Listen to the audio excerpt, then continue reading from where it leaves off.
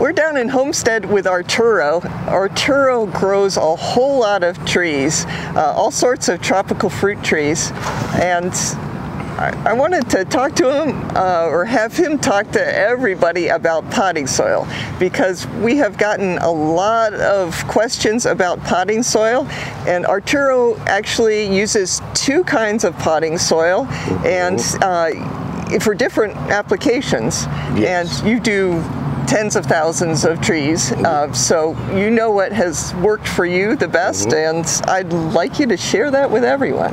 Well, like you said, we have two types of soils, and one type, like the ones we use for mangoes, it's got the sand in it. Because the mangoes that drink slow, like right now that they're blooming, they're not drinking a lot of water. So, and they can drown if they got too much water. So I need to drain. And to get that in the soil, they add sand to it, you know. And the sand to it is 30% of sand. And then it's got a 40% of Florida peat, but you need also to retain some moisture, right?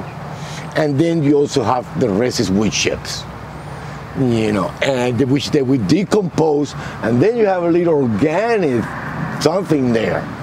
So those are the main th three that goes on trees or plants that, that they don't drink a lot. Some trees drink a lot more, and then we use a different soil. So mangoes, remember, they need little water and they need a soil that the water drains. And the way to see how fast it drains, wait until they get all dry. So it's better to wait for the plant to completely dry before you water, but don't wait too long. And then when you come and you water, when you see the water coming out, that's when you stop. And you're going to see the one with the sand, the water's going to go down faster. And that's what you want.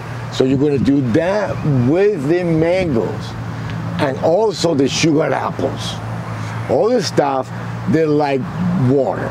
So they don't, you know, care if they sit on water. And that's right there, one that likes the water. You can see it's like in the swamp. You see this, it's in the water.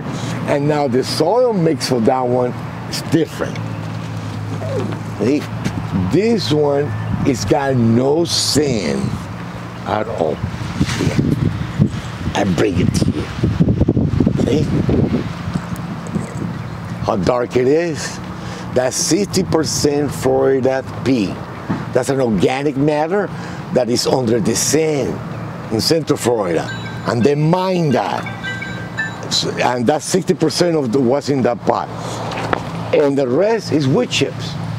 You know, not pine bark, you know, just regular wood chips. Usually from the pine trees we got here. But if we don't cypress, that, that's what we pre uh, prefer. It lasts longer in the in the pot. So that those are the two soils that we use for about everything. Now, uh, do you want to know which ones drink more, which ones drink less? Uh, do you uh, put any amendments with the soil? Have them throw in? Well, we do. We use only. I'm glad you brought that up uh, slow release fertilizer, 186A. That means 80% nitrogen, the six is phosphorus and the A is potassium. And as you know, those are the main three things plants eat. You know, that's their food, the main food. And it is slow release the last nine months. And we do that at the time of transplanting. Every time we transplant and you don't see it there and I forgot about it because we bury it. So down here, you're gonna see these little balls and that's then. You see, those little silver balls, that's the, the slow release fertilizer. Then um, if the plant stays here longer than six months, or, or, or the nine months, so they don't last the nine months because of the rain and all the water. then we come and we give it a top dressing, like a 12, 6, 9, 30 days. And then we just keep him feeding that. And then don't feed your weeds, man. You gotta pull the weeds. Man. So that if not that they go and the weeds, the soil, they take the, the rub your soil, but you're gonna pull them, and when you pull the weeds, the soil all over the place. And and the fertilizer and all. So the um, yeah, you can see the sand and you can see the the muck here. Thing is so but I like this. This is so natural. So so is the wood chips. So you use this the mix with the sand for mango trees and the sugar apple. And the sugar apple. And then everything else, what what kinds of plants do you put uh, use the other soil for? This one, the avocados, they they like a heavy mix, more water. The guavas love water. The bananas like the water. the sapodillas like the water. And then the rest of the stuff, you know, I use the one with, for the with the sand, especially all the annonas or sour sa guanabana. You can do this heavy mix. They, they can handle a lot of water. A lot more water than a sugar apple or an atemoya. Those need to drain well.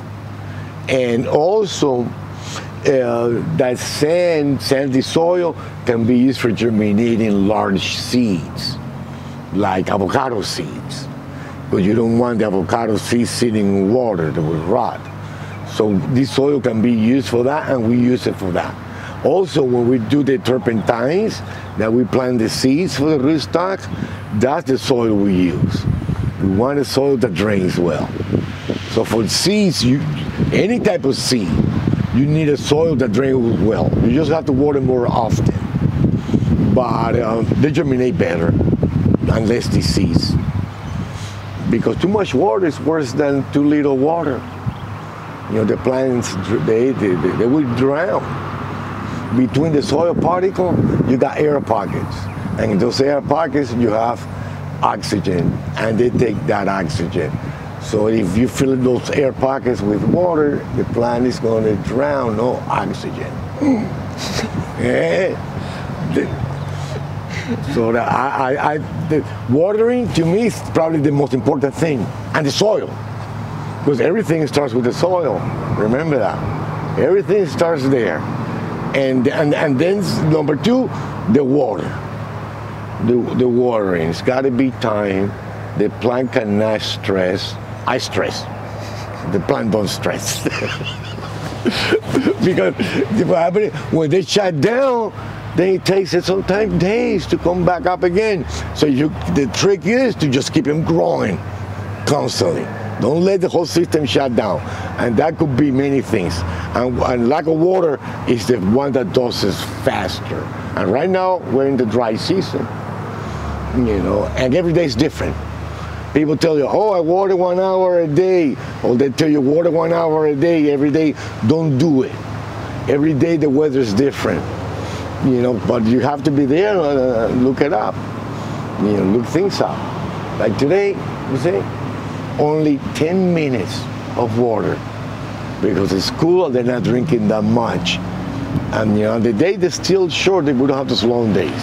When the summer come, up to one hour sometimes you know, with those long days. And, and but, but now, let's water now, especially with this kind of soil. That soil there sometimes can go a day or two without water.